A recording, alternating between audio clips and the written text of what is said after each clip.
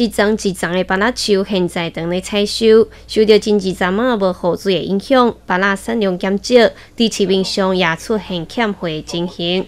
虽然今年的芭乐比起往年有较细粒一寡，但是甜度算是提高，好袂少介意食芭乐的品种，拢把握这个品相的好时机。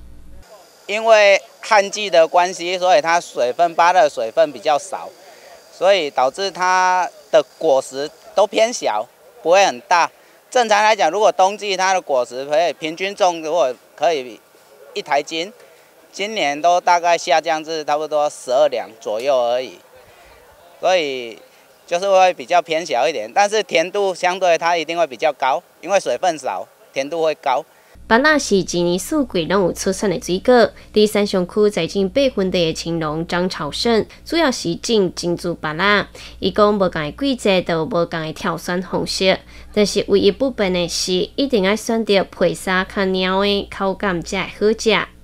在挑选珍珠芭乐的关键是，也要看季节啦。你如果夏天在挑选，就是挑选比较不要那么黄，就比较绿一点。但是你冬季的时候，冬天在挑选，你要越黄越好。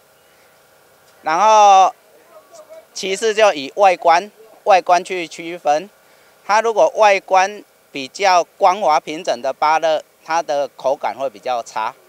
你外观要比较挑选，它比较粗糙，就像我们月球表面这样，它不会光滑平整。它那个芭乐就是它的成熟度够，它才会这样。对着别人的口感，有的人爱食脆的，有的人爱食较软的，拢有家己的一套标准。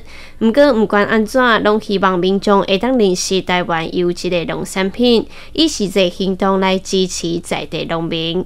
那你新闻台江山台英雄三雄库采访报道。